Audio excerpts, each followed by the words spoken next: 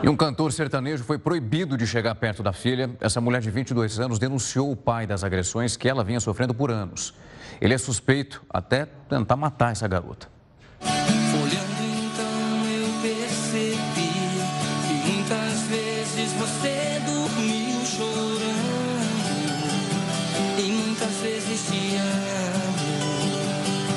Escreveu aqui.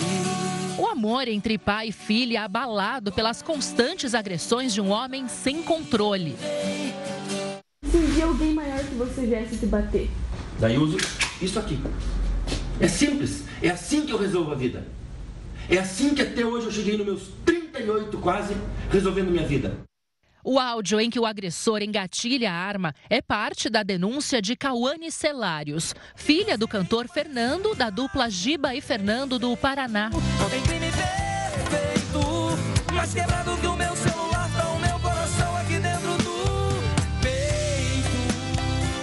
Pelas redes sociais, a jovem de 22 anos expôs vários hematomas que teve que esconder ao longo dos anos. Os espancamentos aconteciam dentro de casa e começaram quando a paranaense ainda era criança. Segundo ela, tudo era motivo para a violência, mas foi só aos 19 anos que ela tomou coragem e denunciou o cantor. Cauane conseguiu uma medida protetiva contra o pai. Agora ele não pode mais se encontrar e nem sequer ter contato com ela. A jovem faz parte dos 36% dos filhos que são agredidos pelos pais.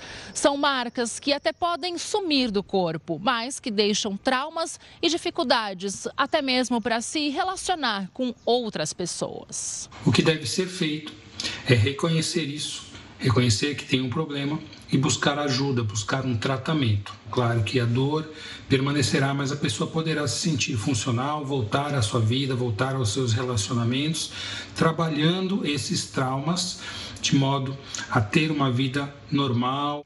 Fernando nega as agressões. Segundo a nota da defesa do cantor, ele apenas teria se defendido durante uma briga. O processo está em andamento na justiça. Em seu artigo 129 do Código de Processo Penal, aponta o crime de lesão corporal. Ele pode ser agravada em caso de relações domésticas, oriunda de, de seu genitor ou de sua genitora.